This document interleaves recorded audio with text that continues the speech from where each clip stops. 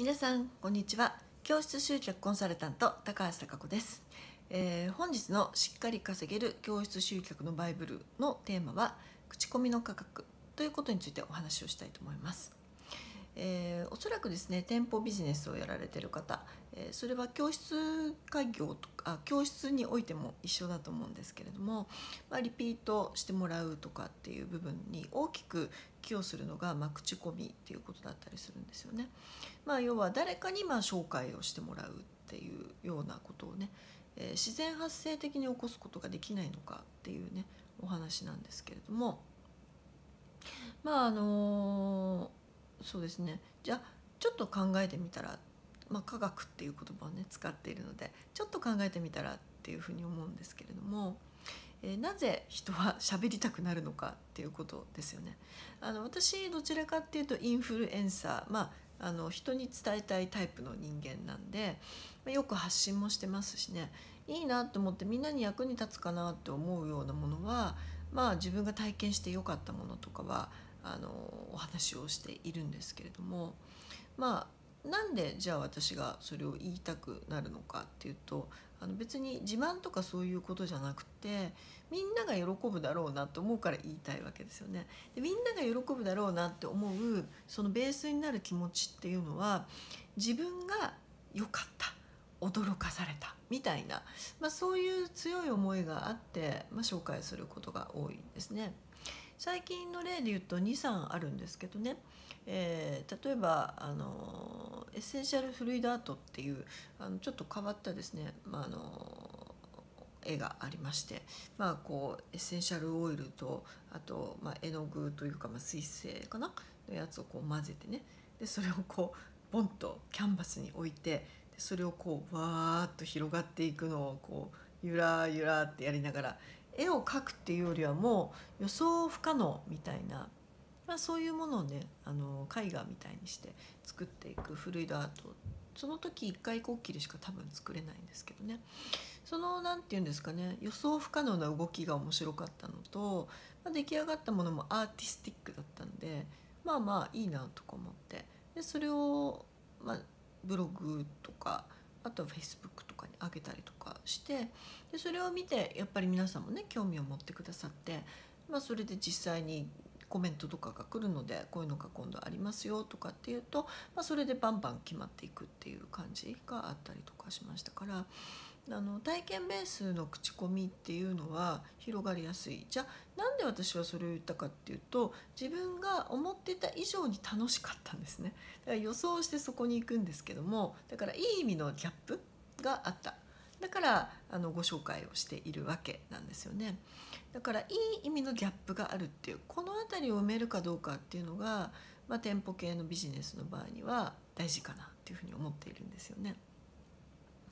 あの何かしらの多分期待値がねお客様あると思うんですよ。でその時に訪れる。でその際にそれ以上のものがもしも提供されたのであればおそらくあのその人はですね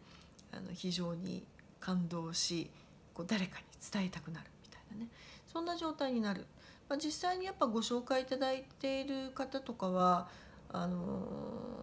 自分がこういうふうに良くなったよっていうのを、まあ、伝えることによって、まあ、私のところに問い合わせが来るとかねそういうのはあったりしてましたからあのまずはその目の前にいる人もちろん満足をさせるんですけれども単なる満足じゃねダメなんですよ。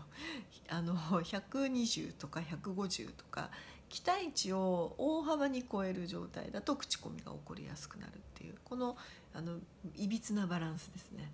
お期待してたより全然いいんじゃないか。まあ逆の口コミも入っちゃう場合ありますけどね。期待値以下。期待値以下すぎるみたいな感じだったりすると、まあ、悪い口コミ。しかも良い口コミより悪い口コミの方が10倍の速度がついて広がっていくっていうデータがあるぐらいですからね、まあ、そちらにはならないようにしたいものではあるんですけれども。まあ、良い口コミをいただくことで、まあ、授業は加速するっていうのはねあったりするんですね。だから、あの体験会とかねそういうお会いできるような機会があればそこであのしっかり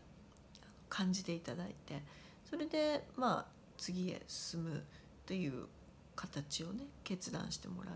私はもっと知りたいとか思ってもらう。でさらにその人の知人友人の縁を伝って、まあ、もっと広がっていく。これがやっぱり理想だと思うんですよね。口コミだけでもちろんあの商売されてる方っていうのもいるのは私は知っていますし、